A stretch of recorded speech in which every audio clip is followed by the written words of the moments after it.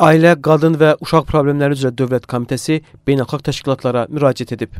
Ermənistan işğalçı qüvvələrin törətdiyi ən böyük hərbi cinayətlərdən biri də işğal altında olan ərazilərdə milyonlarla piyada və tank əleyhinə minaların yerləşdirilməsidir. 30 ilə yaxın bir müddətdə Ermənistan tərəfindən işğal olunmuş ərazilərdə istifadə etmədiyi bütün sahələr minalanıb. Azərbaycanın qələbəsi ilə başa çatmış 44 günlük vətən müharibəsindən sonra işğalın dəhşətləri daha qabarıq üzə çıxır. Hazırda 10 min kvadrat kilometrdən artıq ərazidə ciddi mina təhlükəsi var.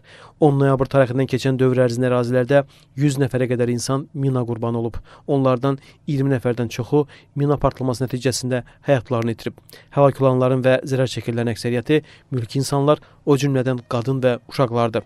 Ermənistan Respublikası beynəlxalq humanitar hüququn prinsiplərini kobud şəkildə pozaraq minalanmış ərazilərin xəritələrini Azərbaycan tərəfinə verməkdən qətiyyətlə imtina edir və bununla da həm də 10 noyabr 2020-ci il tarixli üç tərəfli razılaşmanın şərtlərini pozmaqda davam edir. Ottawa konvensiyası da daxil olmaqla bütün beynəlxalq normalara etinasızlıq göstərən Ermənistan beləliklə Azərbaycana qarşı müharibəni minalar vasitəsilə davam etdirməkdədir.